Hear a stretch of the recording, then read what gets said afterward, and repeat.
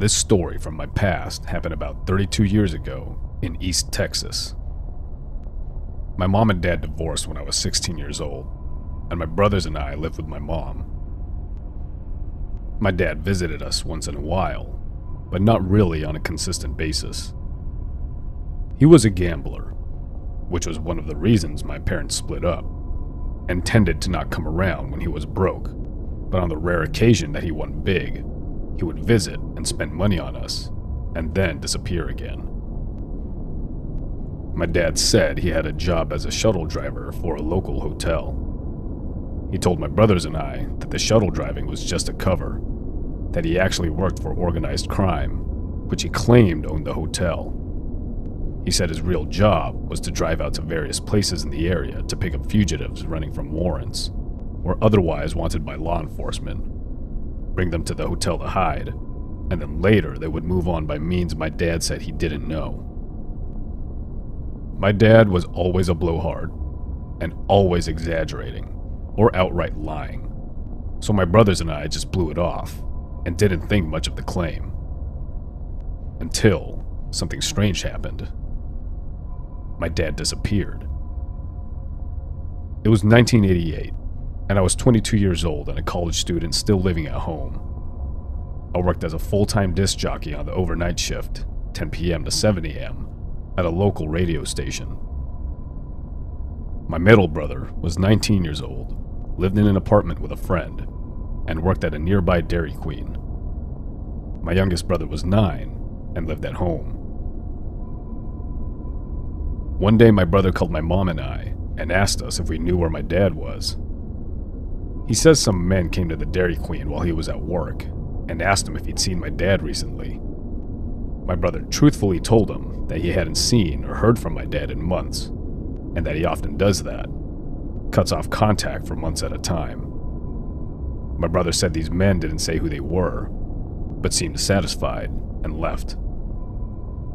My brother wondered if these men or anyone had called to talk to us and ask us where my dad was. We, too, hadn't heard from my dad in months. The following day, my brother says the men returned to his work, and this time, flashed badges and claimed to be FBI agents. He says they were very aggressive and demanded that my brother tell them where my dad was. My brother kept insisting, truthfully, that he didn't know where my dad was, that the last he heard, he worked at a local hotel as a shuttle driver. But the experience upset him, and he called my mom and I again. Upset, my mom called the hotel where my dad worked. The man she spoke to said my dad had disappeared weeks ago, and he had no idea where he went. The following day, my brother was at work when his roommate called and said that someone had apparently been in their apartment. The roommate claimed that when he got home from work, he found the sliding glass door open and the place ransacked, but nothing appeared to be missing. My brother, very upset, went to his apartment and found that, in fact, his address book was missing from the breakfast nook, and a teddy bear he recently bought for his son and a photo of his son were missing from his bedroom. Now, my brother and my mom and I were beside ourselves with anger, fear, and paranoia. We went to the local FBI office to complain that the FBI had done this, and to tell them once and for all my brother does not know where my dad is. Well, as you might have guessed, the FBI claimed no knowledge of the event and claimed that they were not looking for my dad.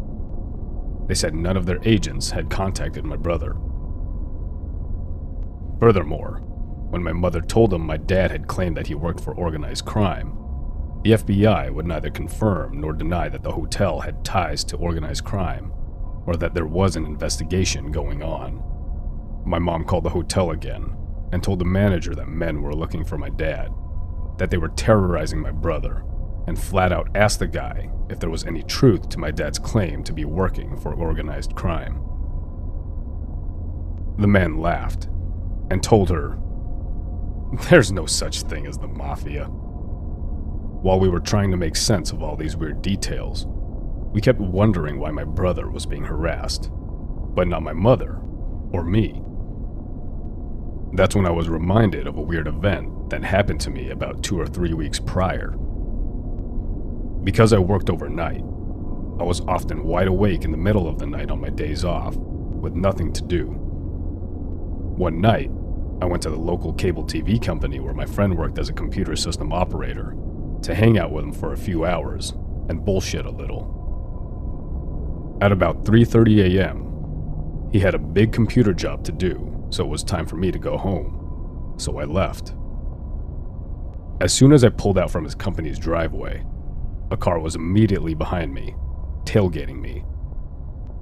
He was on me so quickly it scared the crap out of me. The car seemed to just appear out of nowhere. He also had his high beams on and was blinding me, and I couldn't make out anything about the car behind me. I couldn't see inside, to see how many people were in the car, what they looked like, or anything. I couldn't even see what kind of car it was. I changed lanes to let the tailgater pass, but he changed lanes with me. I moved again, and he again moved. He was tailgating me and blinding me, and now seemed to be following me. I stopped at the intersection and got in at the left turning lane with my signal on and he got behind me. Since there was no other traffic at all anywhere around when the light changed, I zoomed across the intersection, streaked across all lanes of traffic into the far right lane, and went through the intersection, trying to lose him. Even still, he followed me. It was undoubtedly clear. I cut into a nearby neighborhood and tried to lose him, but he kept following me anyway.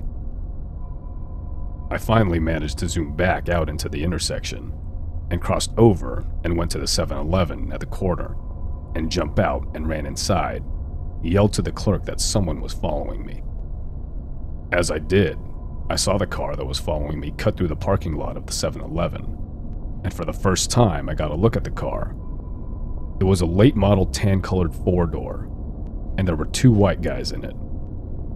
The clerk just blew me off and said I was exaggerating.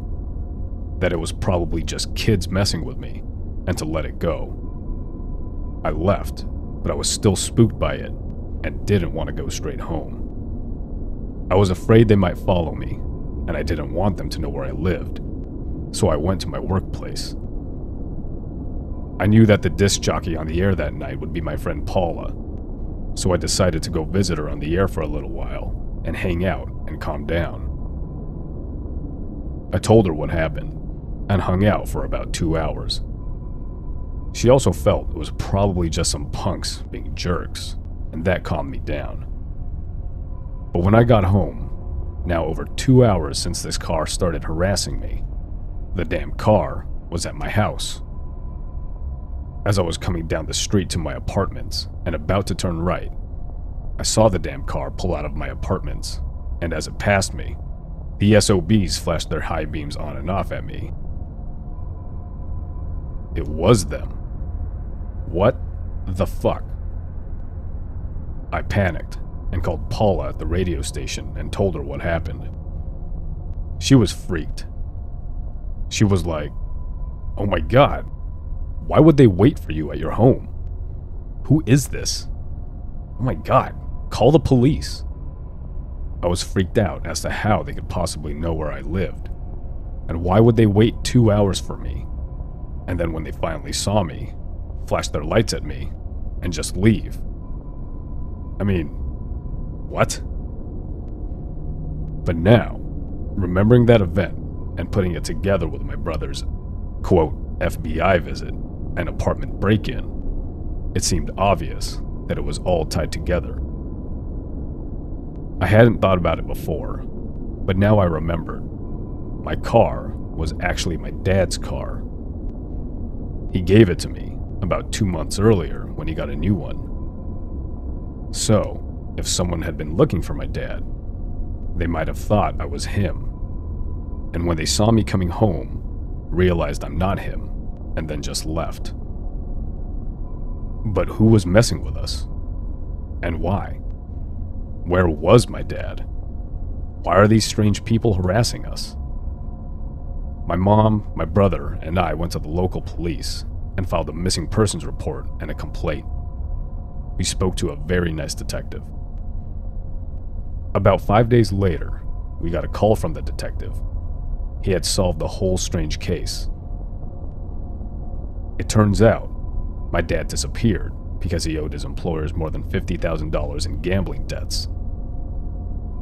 The detective confirmed that my dad did work for some unsavory characters, but said they weren't organized crime per se. He had no idea if my dad was shuttling fugitives or not. He said my dad was hiding out in Nevada, and that he had spoken to him, and he was alive and well, but hiding. We asked, then who the hell were those men? And why were they bothering my brother?